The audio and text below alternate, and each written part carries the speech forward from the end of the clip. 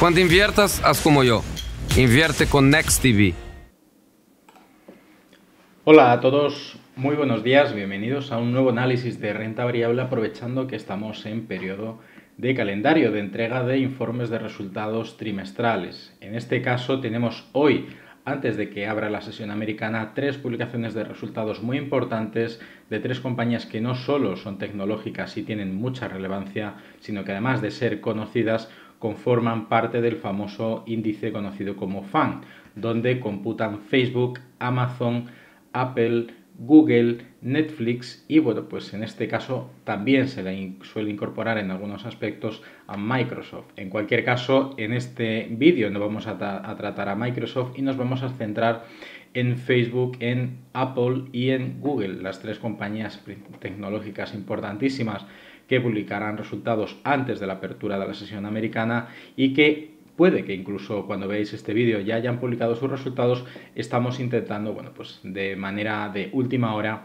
estimar eh, los eh, objetivos de, eh, o estimaciones que tiene el mercado sobre los resultados de estas tres grandes compañías. Vamos a empezar en este caso por Apple, que si bien todavía no conocemos las estimaciones de entregas o de ventas de iPhone, de Max y de y de las tablets de, iPad, incluido por otro lado también los eh, iWatch, todos los periféricos que esta compañía de Cupertino, la compañía de la manzana, pues normalmente tiene su core business, aparte del negocio de Apple TV, que, es un negocio de facturación a través de streaming mediante suscripción, nos vamos a centrar solamente en este caso en los ingresos y el beneficio por acción. En este caso, la compañía eh, bueno, pues después de haber publicado casi 60.000 millones de ingresos en el, en el segundo trimestre del año, tercer trimestre fiscal, para la compañía, para la publicación de hoy se estiman unos ingresos en el entorno de los 73.000 millones de dólares, un incremento sustancial de aproximadamente 12-13.000 millones de dólares de diferencia que por otro lado, sumado a la estimación del beneficio por acción que pasaría desde los 64 centavos en el mismo trimestre del año pasado al dólar por, eh, de beneficio por acción para este trimestre. Estimado, es importante destacar que estas tres compañías normalmente suelen publicar unos resultados que no solo son mejores que el trimestre anterior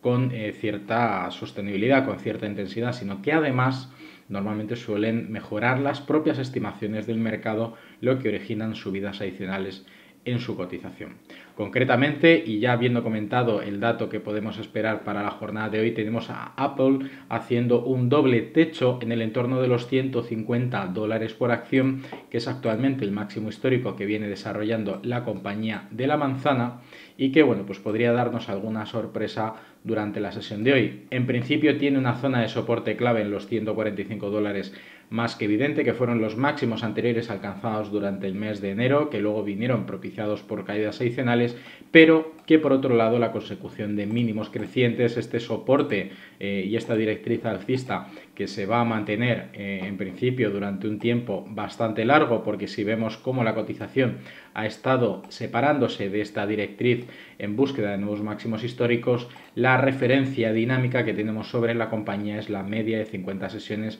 que podría tener cierta relevancia en las próximas jornadas si viéramos algún tipo de retroceso. En cualquier caso, este doble techo en los 150 dólares podrían ser eh, el inicio de un proceso de acumulación, un proceso de consolidación en la compañía que podría mejorar sustancialmente su cotización tras la publicación de los resultados con una gran apertura en la sesión de hoy.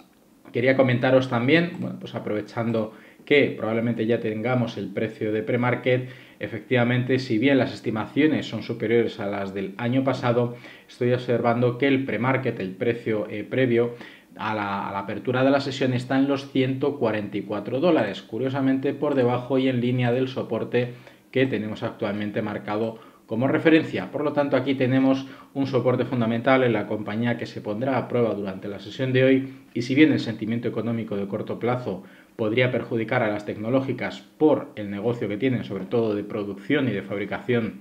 en China y con los problemas con la nueva regulación en China en el ámbito de la educación y en las tecnológicas, pues podría ser un contexto negativo en el corto plazo. Aún así, la estructura triangular y tras haber roto no solo la zona clave de los 137, sino haber marcado nuevos máximos históricos por encima de los 145, marca un, contexto positivo para el próximo trimestre del año. En segundo lugar, después de Apple, vamos a trabajar con Google, con Alphabet, que es la matriz de la compañía de la G, que bueno, pues todos conocemos su navegador, sus servicios, el correo electrónico y bueno, pues no tengo mucho más que decir al respecto de eso, más allá que en las estimaciones de ingresos, si bien el año pasado facturó 38.300 millones en este trimestre el año pasado, se estiman unos ingresos superiores a los 53.000 millones de dólares. Estamos hablando de un, incremento de prácticamente unos 20.000 millones de dólares, lo que es un incremento sustancial en torno al 40-50% respecto al mismo trimestre del año pasado, con unos beneficios que prácticamente se duplican desde los 10,13 dólares por acción de beneficio el mismo trimestre del año pasado a un beneficio por acción estimado en los 19,14 dólares por acción. Un incremento bastante sustancial teniendo en cuenta que ahora, aparte del core business que tiene Apple, eh, perdón, Google respecto a eh, la publicidad y los servicios de suscripción, también está gestionando a nivel empresarial y a nivel corporativo suscripción en cuanto a lo que a la ciberseguridad se refiere y el almacenamiento en la nube, que cada vez más está siendo una de las principales eh, fuentes de ingresos de las compañías tecnológicas en el ámbito digital para precisamente bueno, pues aprovechar el contexto del marco de la digitalización en el ámbito empresarial que cada vez más tiene una mayor relevancia y que cada vez menos dependemos de las estructuras físicas a nivel local en las empresas y está todo centralizado en grandes corporaciones como es en el caso de Google. Voy a buscar exactamente igual a eh, la compañía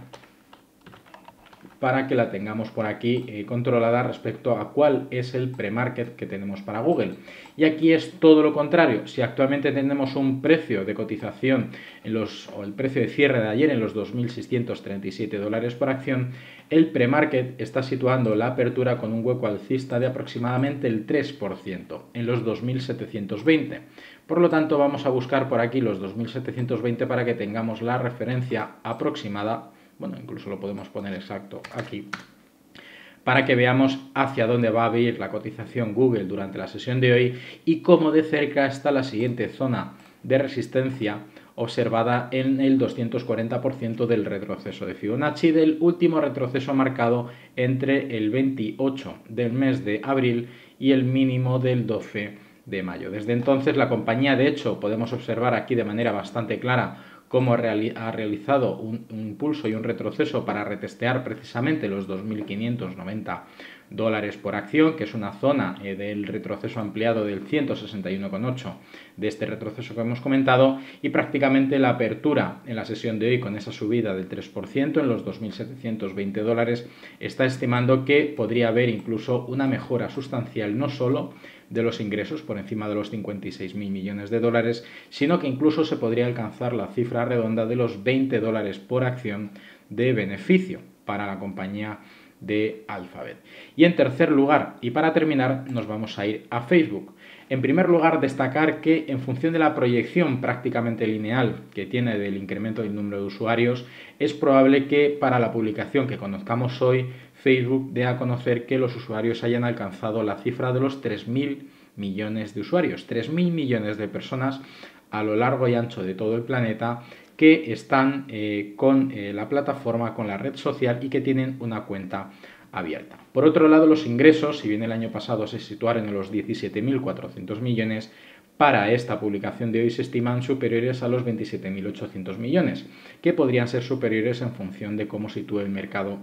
o cómo haya sido Facebook al respecto de este trimestre, mientras que el beneficio por acción desde el euro con, desde el dólar con 80 eh, de beneficio por acción en el mismo trimestre del año pasado, el objetivo, la estimación del mercado sitúa el beneficio por encima de los 3 dólares por acción, concretamente en los 3,02 dólares por acción, un incremento bastante sustancial por encima del 50% de crecimiento en el beneficio, en un contexto donde precisamente también la digitalización, el incremento del tiempo libre o el menor tiempo libre disponible Recordemos que por el tema de la pandemia, para poder salir, para poder disfrutar eh, de, la actividad al aire libre o de socializar en cualquiera de los ámbitos, pues hemos hecho mayor uso de las redes sociales y eso pues se ha notado en las microtransacciones, en las microcompras de la tienda que tiene Facebook dentro de su plataforma y que precisamente a través de este entorno cerrado Facebook también ha facturado eh, como intermediario o como eh, proveedor, en este caso de la plataforma. Concretamente para Facebook, aparte de observar ahora que lo haremos su cotización, la compañía que cerró el viernes con 367,75 céntimos por acción, ahora mismo pues el premarket sitúa la apertura en los 371,50 dólares por acción. Por lo tanto, también otro hueco alcista, una apertura en positivo para la compañía de Mark Zuckerberg, que prácticamente va a retestear máximos históricos durante la sesión de hoy, pero que también tiene una zona pivote bastante interesante, convergente con la media de 15 sesiones, que es la que ha acompañado en el, mayor, en el más corto plazo a la, cotización y en un segundo plano tenemos también la media de 50 sesiones que tuvo un gran soporte interesante en los 333 dólares por acción. Si tenemos en cuenta el último retroceso y como compañías como estas que cotizan constantemente marcando nuevos máximos históricos, como está pasando también en los índices como el Nasdaq o el Standard Poor's 500, lo eh, habitual es realizar una proyección respecto a los retrocesos ampliados del último retroceso realizado por la compañía. Y si por lo tanto tomamos el máximo del pasado 28 de junio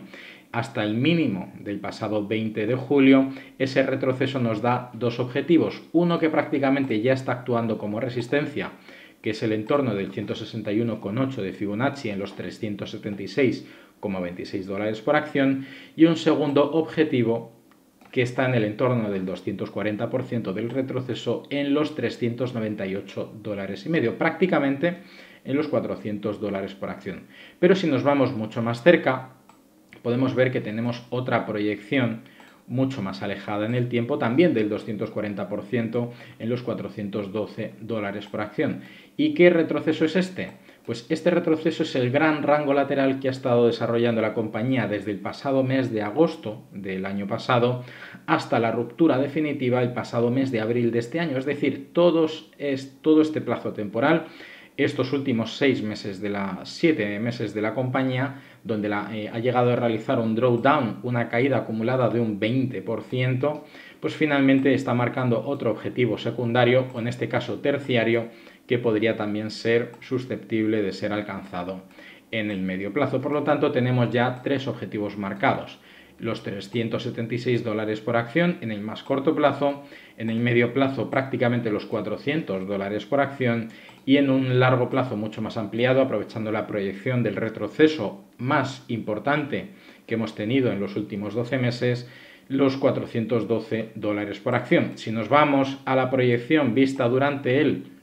eh, durante la pandemia, la principal caída que vimos desde el mes de febrero hasta el mes de marzo del año 2020. En este caso la proyección es incluso más exigente, pasando ya desde el 161 hasta el 261. De hecho, vamos a buscar mejor el 240 para mantener una unificación en los niveles que queremos desarrollar y ponemos el 240% le damos a aplicar y prácticamente lo tenemos ahí. Más o menos era lo que me estaba estimando y eso entre los 412 dólares y los 420 dólares será el entorno de más largo, no tan largo plazo, pero como la proyección es bastante lineal y si aprovechamos la estructura o el dibujo de un canal alcista,